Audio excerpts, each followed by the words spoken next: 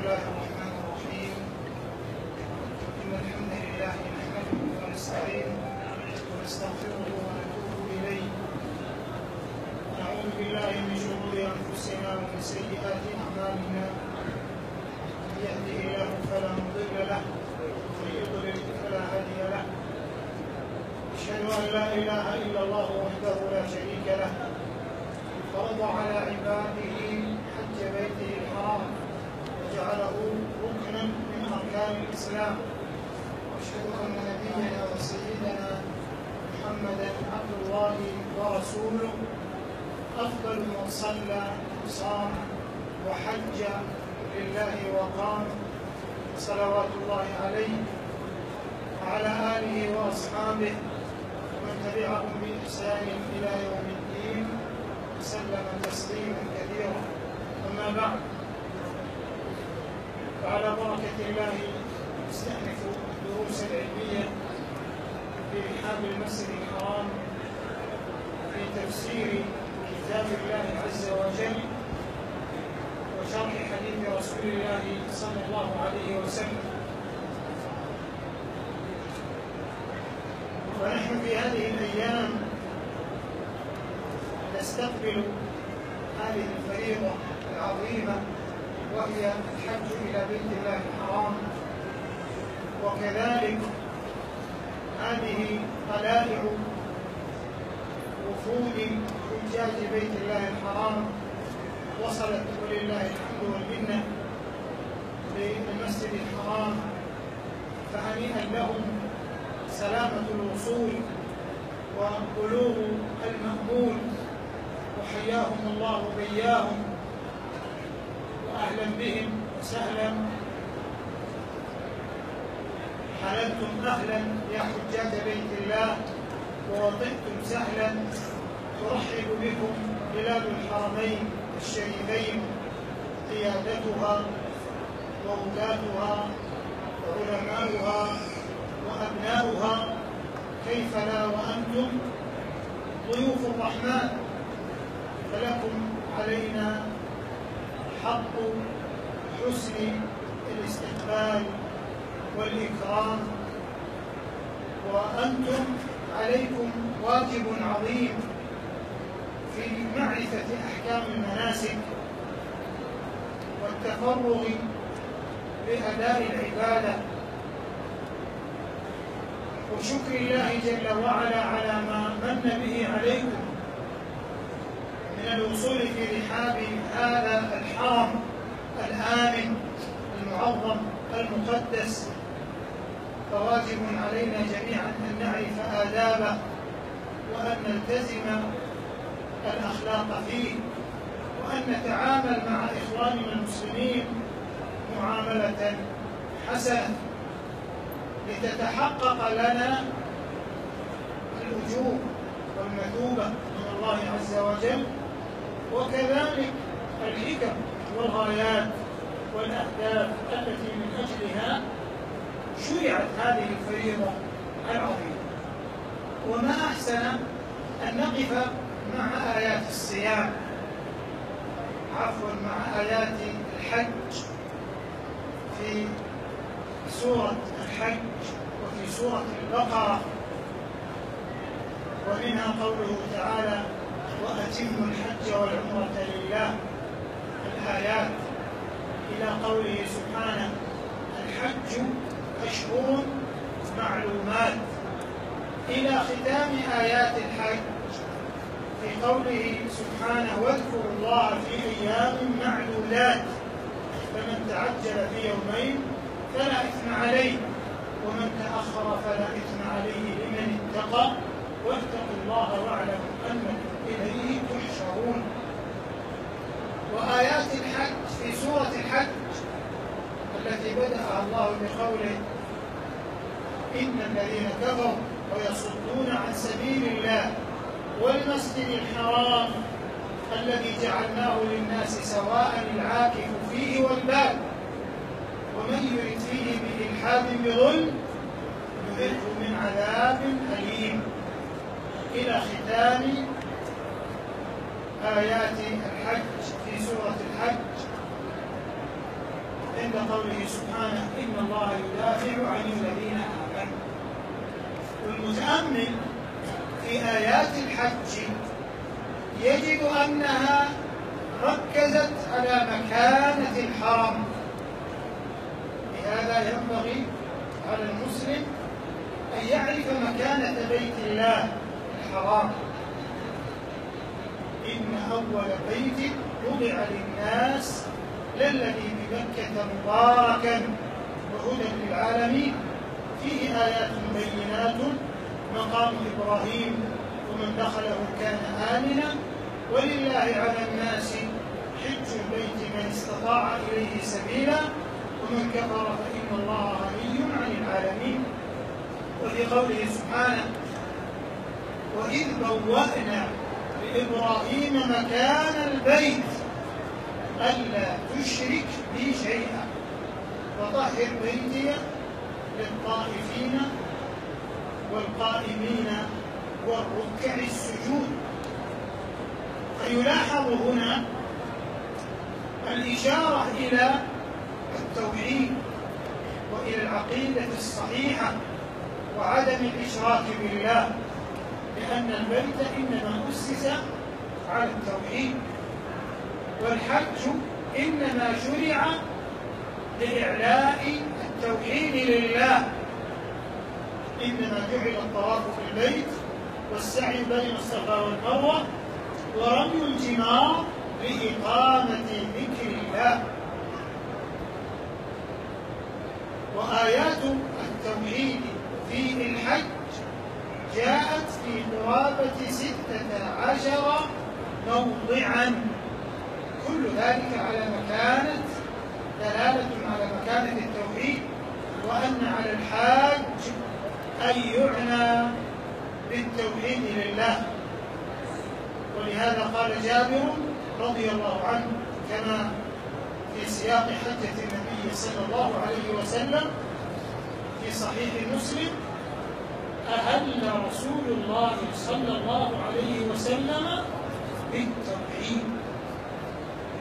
وهو شعار التلبية.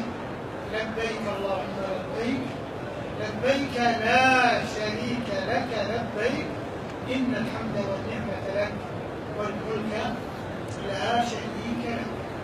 فالعناية بالتوحيد أمر مهم ينبغي أن يعنى به الحاج بل في عباداته كلها. الإخلاص لله وتوحيده وإفراده بالعبادة وعدم الإشراك به لا يتوجه الحاج إلى غير الله في أداء هذه المناسبة. فلا يرفع في الحج شعارات سياسية ولا نعرات طائفية ولا خلافات وصراعات مذهبية الجميع إخوة. يجمعهم الكتاب والسنة. وحدة الزمان والمكان والزي والملبس والظاهر والباطن. ولا سيما وهم في هذه الرحاب الطاهرة في هذا البيت العتيق الذي أمر الله بتعظيمه فتعظيمه تعظيم لشعائر الله. ذلك ومن يعظم شعائر الله فإنها تقوى القلوب. ذلك ومن يعظم حرمات الله فهو خير له عند ربه. فالحج عبادة وتقديس لا شعارات وتسييس. الحج عبادة عقيدة سلوك إسلامي وحضاري وإنساني وقيمي وأخلاقي ينبغي أن يستفيد منه المسلمون دروسا في الوحدة والتضامن والاعتصام بالكتاب والسنة والاجتماع على كلمة التوحيد وعدم التفرق والاختلاف. كما قال تعالى واعتصموا بحبل الله جميعا ولا تفرقوا في بداية آيات الحج في سورة البقرة قال تعالى وأتموا الحج والعمرة لله. الواو هنا عاطفة على الآية التي قبلها وهي قوله سبحانه وأنفقوا في سبيل الله ولا تلقوا بأيديكم إلى التهلكة. وأحسنوا إن الله يحب المحسنين وأتموا الحج والعمرة لله. فيلاحظ في السياقات أن الآيات جاءت أولا بالعقيدة والإيمان ثم جاءت بإقامة الصلاة في أول سورة البقرة. الذين يقيمون الصلاة ومما رزقناهم ينفقون. ثم جاءت آيات الإنفاق التي هي أيضا منها الزكاة المفروض. وبعد الزكاة جاءت آيات الصيام. ثم كرر الإنفاق بمكانته ثم جاءت آيات الحج فهو تسلسل منطق في أهمية أركان الإسلام وترتيبها. وأتم لاحظوا العبارة والسياق القرآني بقوله وأتم ما قال وأدوا الحج؟ وآتوا الحج. قوموا بالحج لا عبر بأتم لأن الإتمام فيه معنى الكمال والإتقان. فيه معنى الإتقان والإحسان. فليس المراد الحج حج الجسد وحده وإنما إتمام الحج بإكماله وإتقانه وأداء شروطه وواجباته وأركانه وسننه. وهذا أبلغ من قوله وأدوا الحج. لهذا أخذ الفقهاء رحمهم الله من قوله وأتموا أن من بدأ بالنسك فإنه يجب عليه أن يتمه. ولا يجوز له أن يفسخ الإحرام إلا بعد تمام المناسك. وهذا معنى قوله سبحانه يا أيها الذين آمنوا أطيعوا الله وأطيعوا الرسول ولا تبطلوا أعمالكم. قال وأتموا الحج. الحج في اللغة القصد. ومنه قوله تعالى ولا آمين البيت الحرام. أي قاصدين البيت الحرام. وفي الشرع عبادة مخصوصة. في زمن مخصوص من شخص مخصوص. عبادة مخصوصة وهي أداء الحج بأركانه الذي يبدأ بالإحرام وينتهي بطواف الوداع. عبادة مخصوصة ويعبر بعض الفقهاء في تعريفه بقوله قصد مكة. لعمل مخصوص من شخص مخصوص بنية مخصوصة وقولنا في زمن مخصوص التي هي أشهر الحج. يصح الواحد يحج في رمضان ها؟ في شعبان. الحج أشهر معلومات. أزمنة. ولهذا يسمونها المواقيت. والمواقيت قسمان مواقيت زمانية. وهي الأشهر. أشهر الحج المعروفة التي هي شوال وذو القعدة. ذو القعدة. بالفتح على الأفصح ويجوز ذو القعدة والشهر الثالث ذو الحجة هذه الأشهر الثلاثة هي أشهر الحج.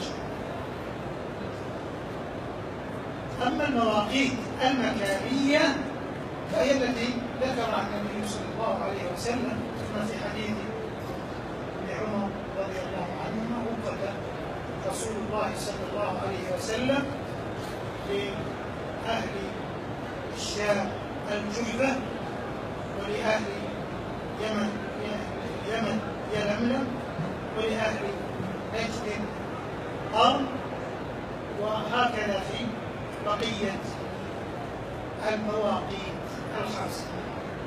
جمع الناظم بقوله عرق العراق.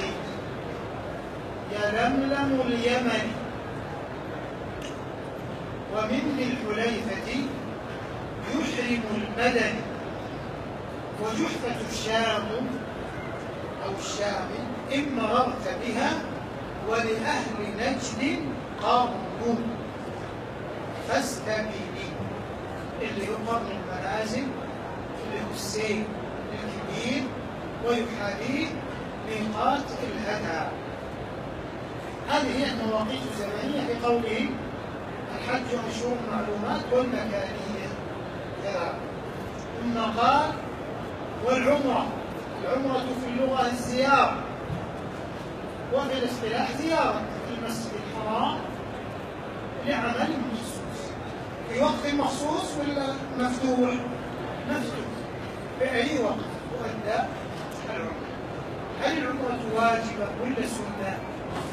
اختلف العلماء في ذلك على قولين فذهب الجمهور إلى وجوبها إلى وجوب العمرة فمن حج البيت أو اعتمر.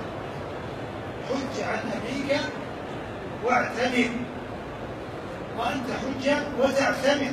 دخلت العمرة في الحج إلى يوم القيامة. ويرى بعض أهل العلم أنها سنة والصواب أنها واجبة. وكذلك الحج. واجب للمرة لمرة واحدة. الحج مرة فحينما قال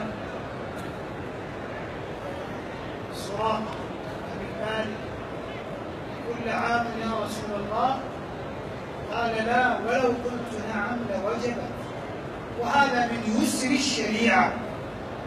وأيضا من رأفة النبي صلى الله عليه وسلم ورحمته بأمته. كم اعتمر النبي صلى الله عليه وسلم من عمرة؟ اعتمر أربع عمر. أربع عمر. هل اعتمر في رمضان؟ لا ما اعتمر في رمضان. لكنه حث أم معقل. كما في حديث معقل أن تعتمر في رمضان؟ وقال إنها تعلم حج قال حجة معه وكل عمر النبي صلى الله عليه وسلم في القعدة أولها عمرة الحديبية التي صدها المشركون صده المشركون عنه ثم أعادها في العام القادم تسمى عمرة القضية أو عمرة القضاء أو عمرة المقاضاة العمرة الثالثة اعتمر عليه الصلاة والسلام في ذي القعدة مغفله من غزوة حنين من الجعرانة والعمرة الرابعة التي حصلت رأس أما الحج حجة حجة واحدة وهي حجة الوداع. مما ينبغي حقيقة يعرفه المسلم مكانة الحج أنه ركن مكان الإسلام وفي الحديث بني الإسلام على خمس ذكر منها الحج إلى بيت الله الحرام. ومن حكمة مشروعية الحج ما ذكره أهل العلم؟ يعني استنباطا من آيات الحج. ليشهدوا منافع له وجاءت منافع بأسلوب النكرة في سياق الامتنان. لتعم كل المنافع الدينية والدنيوية والصحية والأخوية والاجتماعية بل حتى المادية والتجارة. ليس عليكم جناح أن تبتغوا فضلا من ربكم الحج حفظكم الله متى فرض؟ فرض في آخر الإسلام فرض سنة تسع من الهجرة. وهذا أيضا من يسر الشريعة. فجاءت الحكمة في تأخير فريضة الحج. فرضت أولا الصلاة ثم الزكاة ثم الصيام. لماذا؟ لأن الصلاة عماد الدين وهي تتكرر خمس مرات. ثم الزكاة لكونها قرينة الصلاة فيما ذكر الله جل وعلا في كتابه. ثم الصيام لتكمله كل سنة ثم الحج لأنه مرة واحدة في العمر. وهذا من يسر الشريعة. نعم. الحج ركن من أركان الإسلام. فريضة بإجماع المسلمين. وهو فرض في العمر مرة على المستطيع. وما زاد على حج الفريضة فهو تطوع إن الصفا والمروة من شعائر الله فمن حج البيت أو اعتمر فلا جناح عليه أن يطوف بهما ومن تطوع خيرا. إن الله شاكر عليم. شروط وجوب الحج. ذكر الفقهاء أن شروط وجوب الحج خمسة.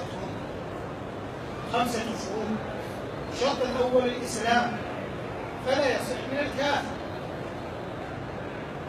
الثاني العقل. فلا يجب الحج على المجنون. الثالث البلوغ. فلا يجب الحج على الصغير. لكن لو حج فحجه صحيح. وثوابه لأهله لأمه أو لأبيه الذي هو في معيته ودليل ذلك المرأة التي رفعت صبيا إلى النبي صلى الله عليه وسلم فقالت ألي هذا حج؟ قال نعم. ولك أجر ومن شروط وجوب الحج الحرية فلا يجب على المملوك لأن المملوك من سيده. وكل وقته مشغول بخدمة سيده والشرط الخامس الاستطاعة. والاستطاعة هي وجود الزاد والراحلة كما فسرها ابن عباس رضي الله عنه. والحقيقة أن الاستطاعة أيضا أعم من ذلك. اليوم في تنظيم الحج. قد يكون بعض المسلمين في بعض الدول ما يأتي الدور في الحج إلا متأخر. هذا معلوم فهو قد اتقى الله ما استطاع من استطاع إليه سبيلا. وتزيد المرأة شرطا سادسا وهو وجود المحرم. وهو من تحرم عليه يعني يحرم زواجها منه وزواجه منها. لنسب. كأبيها وأخيها وابنها أو سبب مباح كالرضاع والمصاهرة. هذه وجوب شروط وجوب الحج فينبغي أن يعنى المسلمون بتحقق هذه الشروط نعم. كذلك ينبغي على المسلم أن يتفقه أحكام المناسك ويسأل أهل العلم عما يشكل عليه قبل أن يفعل المناسك.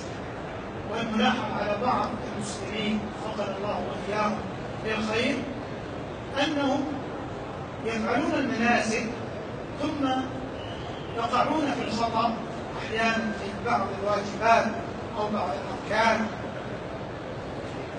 ثم يأتون يسألون. الأولى أن الإنسان يسأل ويتفقه في أحكام المناسك قبل أن يفعلها. والعلماء لله الحمد منا موجودون. وأيضا يمكنه أن يصطحب كتابا كتابا من الكتب الموثوقة.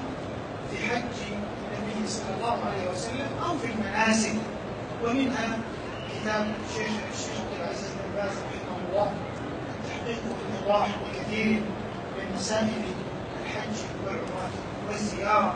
وهو كتاب نفيس جاءت فيه سياقات الحج على وفق الدليل من الكتاب وهدي النبي صلى الله عليه وسلم. نعم. ما هي أركان الحج؟ أركان الحج ما هي أولا الإحرام. ثانيا الوقوف بعرفة. ثالثا طواف الإفاضة رابعا السعي هذه أركان الإحرام طواف وقوف بعرفة. طواف والبقية واجبات وهي سبعة. منها مثلا الإحرام من الميقات المعتبر له الذي يمر عليه. هن لهن. ولمن أتى عليهن من غير أهلهن ممن أراد الحج أو العمرة. كذلك من الواجبات.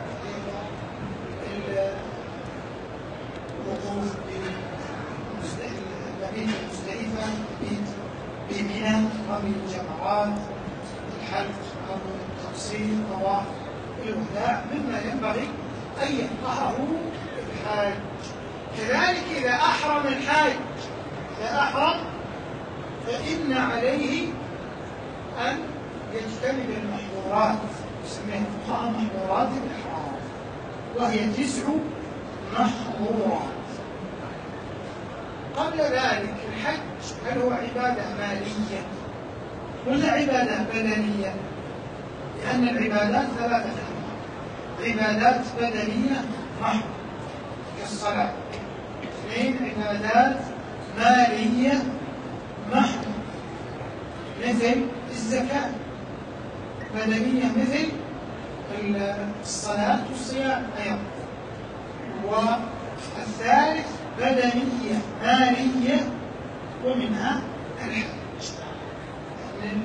من الاستطاعة الاستطاعة الجسدية والقدرة البدنية والمالية. اللي ما يستطيع لا يكلف الله نفسا إلا وسعها. آه، مما ينبغي أن يعلم أن في الإحرام ينبغي الإنسان يحرم عن نفسه. وتجوز النيابة في الحج للشيخ الكبير الهرم أو اللي ما يستطيع أو المريض المرض الذي لا يرجعه ولا يشق الإنسان على نفسه وما جعل عليكم في الدين من حرج يريد الله بكم اليسر ولا يريد بكم العسر. فيحرم الإنسان عن نفسه. ولو كان نائبا عن غيره فلا يجوز له أن ينوب عن غيره حتى يؤدي الفريضة عن نفسه. الحديث الذي أخرجه أبو داود والبيهقي بإسناد جيد. حججت عن نفسك؟ قال لا. قال حج عن نفسك ثم حج عن شبهمة فالرجل الذي نوى أن تكون حجته عن شبهمة قال أخ لي أو قريب. لي من شروط وجوب الحج على المرأة المحرم. وفي هذا تكريم للمرأة. الناس يحسبون هذا قصور في حقها هذا تكريم أن المرأة بطبعها تحتاج إلى من يعينه ويساعده. فألزم الإسلام المحرم أن يكون معها في الحج. وإذا لم تجد محرما فإنه يسقط عنها الحج.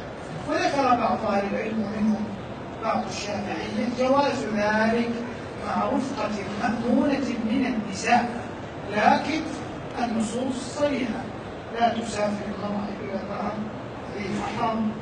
والنبي والنبي عليه الصلاة والسلام قال للرجل الذي سأله أن أخرج في جيش كذا وكذا وامرأتي تريد الحج.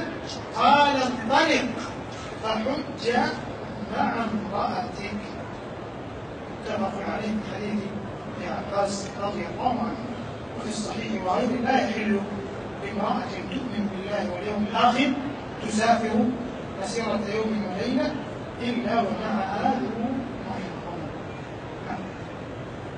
هذا ما يتعلق بشروط الحج على الرجال وشروط الحج على النساء الاستعداد للحج وفضله الحج له فضل عظيم لكننا في الأزمان المتأخرة ومع كثرة الزحام نقول لإخواننا الذين يريدون الحج إن أبواب الخير كثيرة.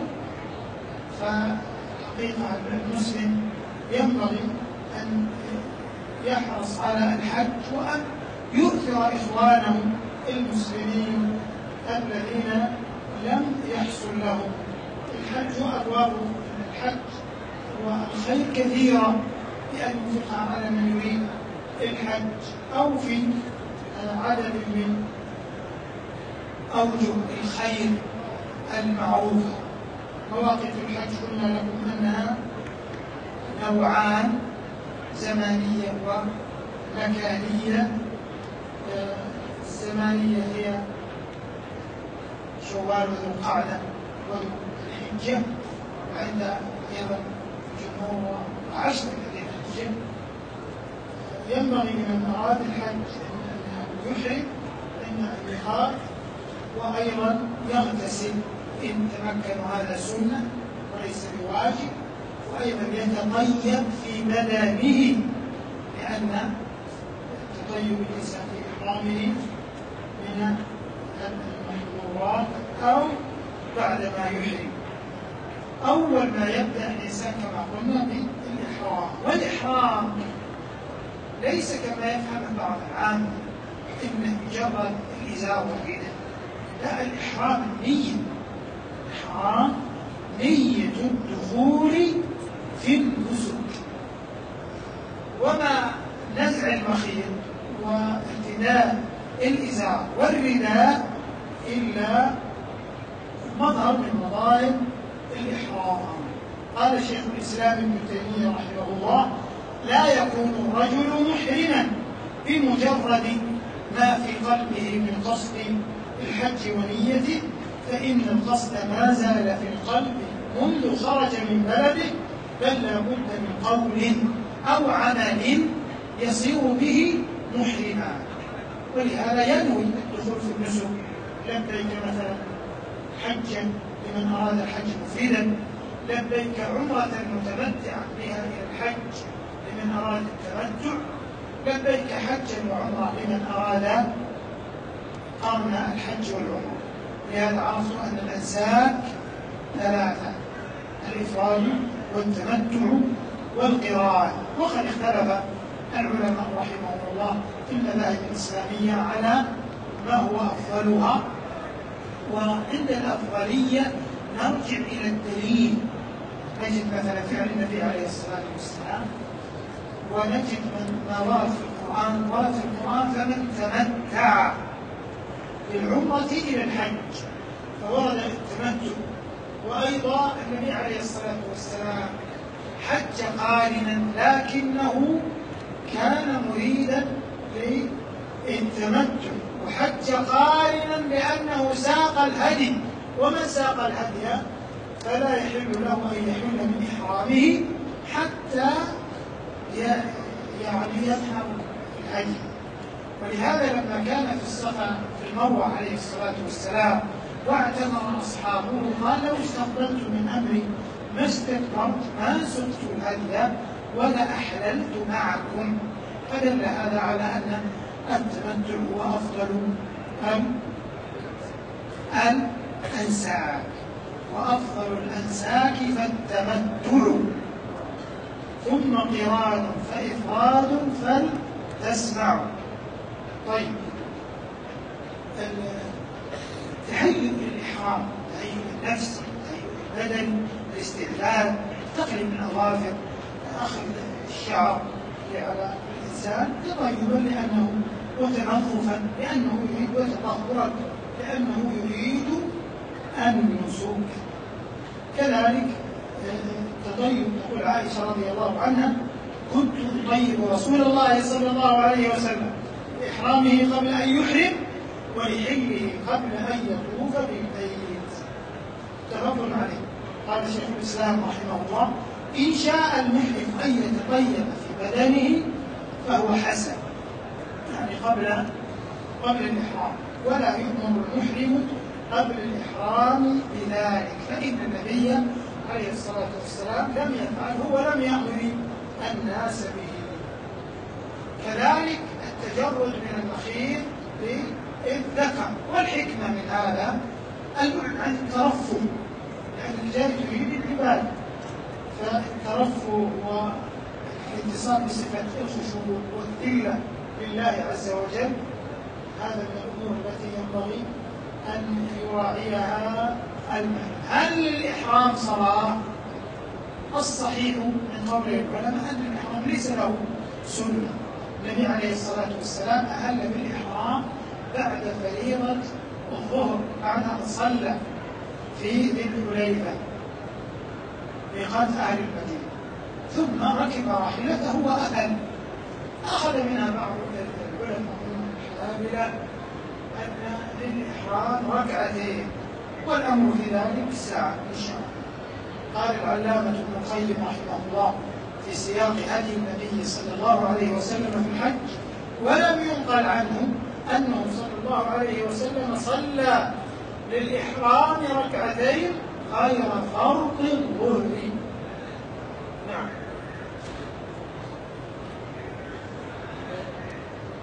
من الأمور أيضا التي ينبغي أن يعرفها المسلم وأن يحذرها حال الإحرام المحظورات. المحظورات وهي تسعة. أولا حلق الشعر. قال تعالى فإن أحصرتم فما استيسر من الهدي. إلى قوله سبحانه وتعالى في قوله في آية البقرة فمن كان منكم مريضا أو به أذى من رأسه ففدية من صيام أو صدقة أو نسك. قوله في الآية فإن أحصرتم هذا نزل آه، بمناسبة حصار النبي عليه الصلاة والسلام في الحديبية لما منعه المشركون. فناسب أن تأتي آيات الإحصار والإحصار في اللغة المنع. وفي الاصطلاح المنع أو منع الحاج أو المعتمر من الوصول إلى البيت. بأي أنواع الإحصار وقد ذكر أهل العلم في معنى هذه الآية أن الإحصار يكون بالعدو. إما أن يمنعه العدو من الوصول إلى البيت. عدو في حالة قتال.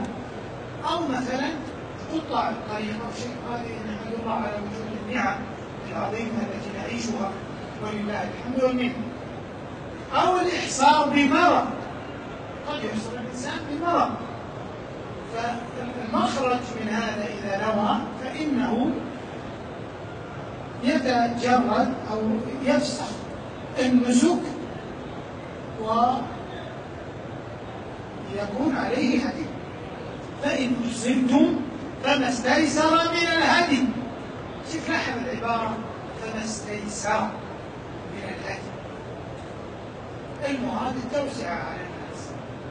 لكنه لا يخرج لا يخرج عن الهدي الذي جاءت الشريعة به وهو بهيمة الأنعام من الإبل والبقر والغنم والمعز نقول واحد فيما استيسر من الهدي في دجاجة ولا أرنب لا لابد فما استيسر من الهدي من الأنعام طيب ثم قال ولا تحلقوا رؤوسكم حتى يبلغ الهدي ثم جاء في قول حلق الشعر فمن كان منكم مريضا أو به أذى رأس حديث كعب بن عجرة جاء إلى النبي عليه الصلاة والسلام والقبل حرام رأسه تتساق قال له النبي عليه الصلاة والسلام احلق رأسك احلق رأسك وذكر أيضا ما عليه ويفدي من صيام أو صدقة أو صيام ثلاثة أيام في المحظور أو إطعام ستة مساكين أو ذبح ذبيحة. لهذا ينبغي على الذين يفتون الحجاج أن ييسروا عليه بعض الناس مثلا في أي واجب من الواجبات؟ تجي تستفتي عليك دم جاهز. كلش عليك دم لا ما هو كلش عليك دم عليك دم فيما جاءت الشريعة أو السنة بإيجاب الدم على المخالف أو الذي وقع في المحظور. كل المحظورات اللي جاءت جاء فيها التخيير بين صيام وصدقة أو نسك. فالاكتفاء فقط بمجرد النسك هذا خطأ في الفتوى. المحظور الثاني تقليب الأظافر. إذا أحرم المسلم فلا يقلب أظافره ولا يقص. ولكن لو أنه وقع في خطأ بعض الناس دائما يدرك أنه يقرأ. هذا لا حرج عليه إن شاء الله الذي يأتي خطأ أو نسيانا ربنا لا تؤاخذنا إن نسينا أو أخطأنا. ولكن ذكر بعض أهل العلم أنه لو يطعم مسكين عن كل ظهر أو هذا أحوال. نعم. أيضا من المحظورات حفظكم الله التطيب. الطيب. اللي يحرم ممنوع من الطيب. ممنوع من أن يتطيب سواء كان طيب يعني بخورا أو دهنا. من المحظورات أيضا الرابع تغطية الرجل لرأسه. تغطية رأس الذكر بلبس مثلا.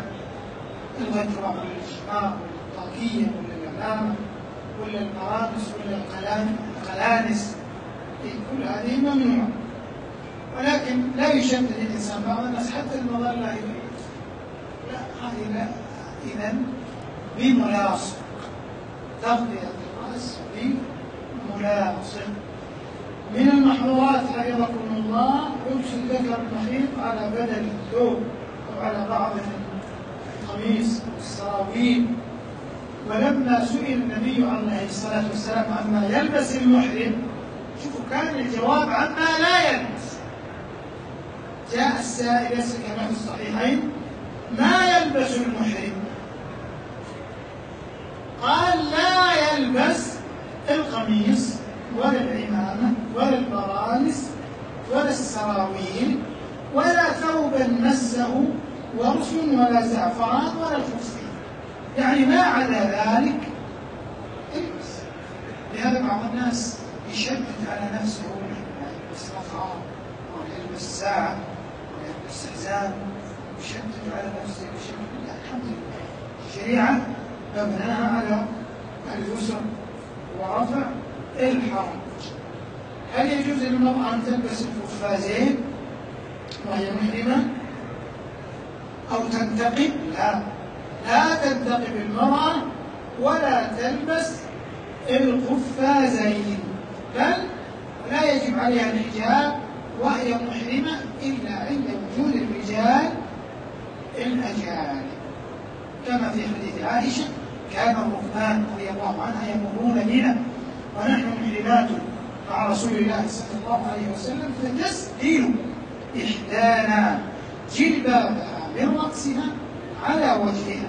فإذا جاوزونا يعني ذهب الرجال كشفناهم إذا كانت المرأة في الخيمة تكشف وجهها وإذا كانت في الحرم ولا أمام الرجال في كل عند الجمرات فإذا حفظكم الله تغطي وجهها. وهذا هو حجاب المرأة المسلمة.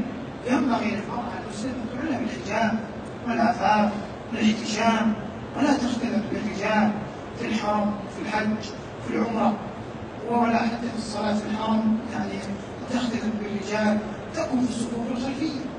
خير صفوف النساء آخرها. وشرها أولها. إذا المحظور السادس من المحظورات نفضل الله وجوهكم ورعاكم وحفظكم وبارك فيكم وتقبل منا ومنكم قتل الصيد.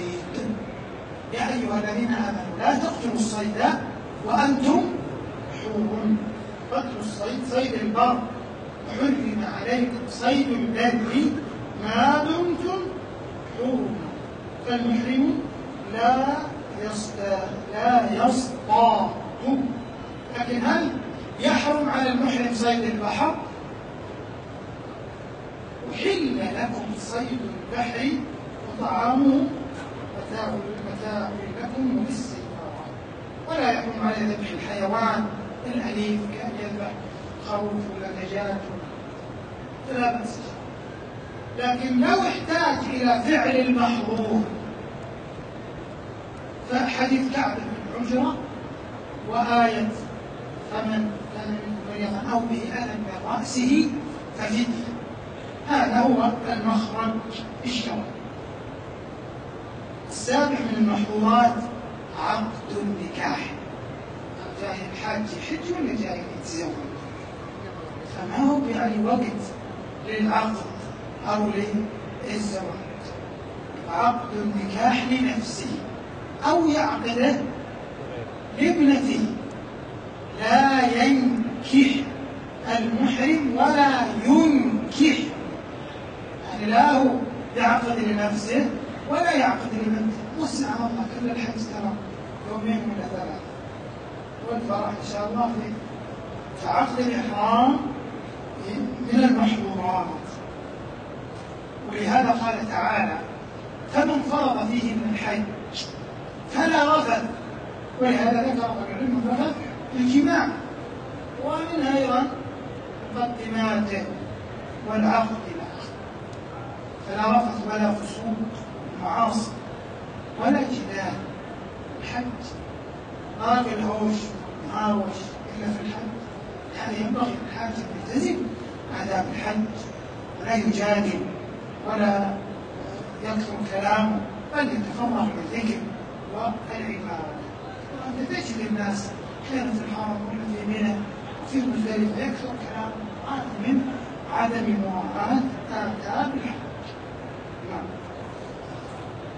فمن فرض من الحج فلا رفث ولا فسوق ولا جدال في الحج. وما تفعلوا من خير يعلمه الله. وتزودوا فإن خير الزاد التقوى. العناية بما يعين على تقوى الله تبارك وتعالى في الحج. لهذا أعظم زاد هو زاد فليحرص الحجاج الكرام وقد من الله عليهم بالوصول إلى بيت الله الحرام أن يتفرغوا لأداء المناسك وأن يحرصوا على أدائها على الوجه المطلوب. الآن الحاج أحرم ونزل إلى الحرم من المواقيت الخمسة المعروفة وهل هي المواقيت نصية أو اجتهادية؟ التي وردت في الحديث هذه نصية. وقد اختلف العلماء في ذات العلم فمنهم من ذكر أنها ميقات اجتهادي في عهد عمر رضي الله تعالى عنه. ولو كان ذلك فهو سنة الخليفة الراشد وقد قال عليه الصلاة والسلام عليكم بسنتي وسنة الخلفاء الراشدين المهديين من بعدي أيها الإخوة الكرام من فضل الله عز وجل على الحجاج أن هيأ هذه الولاية الولاية التي تعنى بحجاج بيت الله الحرام وتهتم بهم وتحرص على عناية عناية تامة بأمنهم وسلامتهم. وأيضا هذه الخدمات الموجودة ولله الحمد والمنة في الحرمين وفي المشاعر المقدسة. فما على الحاج والمعتمر والزائر إلا أن يخلص العمل لله ويتفرغ لأداء مناسكه ويحرص على السنة. النبي عليه الصلاة والسلام قال خذوا عني مناسككم ولا يقول الإنسان أنا حنفي ولا مالكي ولا شافعي ولا حنبلي مع تقدير المسلم لهؤلاء العلماء الأجلاء إلا أنهم جميعا حرصوا على اتباع السنة والرد إلى سنة النبي عليه الصلاة والسلام. وفي وقت البدع والمحدثات والمخالفات والطرق والجماعات والأحزاب والتنظيمات المشبوهة يحرص المسلم على التجرد ودليله الكتاب والسنة. ومنهج السلف الصالح رحمهم الله. الذي ينبغي أن نعنى به وهم صحابة رسول الله صلى الله عليه وسلم. الصحابة رضي الله عنهم عقيدتنا فيهم حبهم والترضي عنهم وعدم الوقيعة بهم ولا فيما شجر بينهم. لا يجوز للمسلم أن يتعرض للصحابة أو يقع فيهم أو لا يترضى عنهم بل يجب أن يترسم هديهم والسابقون الأولون من المهاجرين والأنصار والذين اتبعوا بإحسان رضي الله عنهم ورضوا عنه. لقد رضي الله عن المؤمنين إذ يبايعونك تحت الشجرة وقد ظلت فئام من الناس طعنت في صحابة رسول الله صلى الله عليه وسلم وفي زوجات رسول الله عليه الصلاة والسلام والطاهرات أمهات المؤمنين ورفعوا عقيرتهم في الطعن في هذه الأمة وبث الفرقة والطائفية والخلاف والفتن فيما بينها فكفى الله شرهم ومن على المسلمين باتباع الكتاب والسنة والعقيدة الصحيحة ووفقهم لأداء الحج على وفق هدي سنة رسول الله عليه الصلاة والسلام آمنين مطمئنين جعل الله حج الحجاج مبرورا وسعيهم مشكورا وذنبهم مغفورا وحفظهم وحفظ أمنهم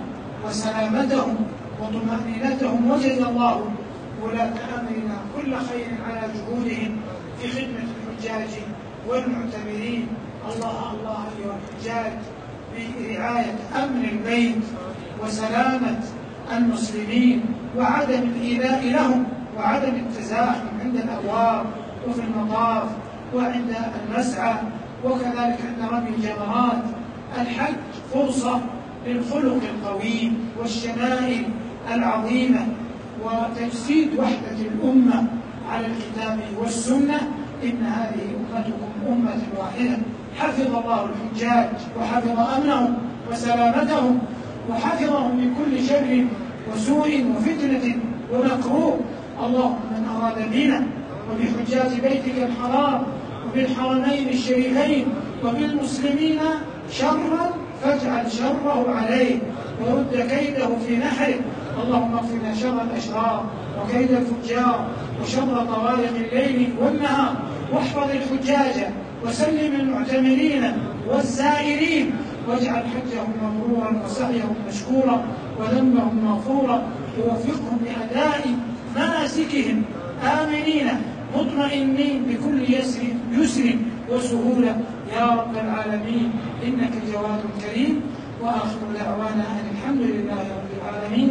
وصلى الله وسلم على نبينا محمد وعلى آله وصحبه أجمعين. والسلام عليكم ورحمة الله 何だ?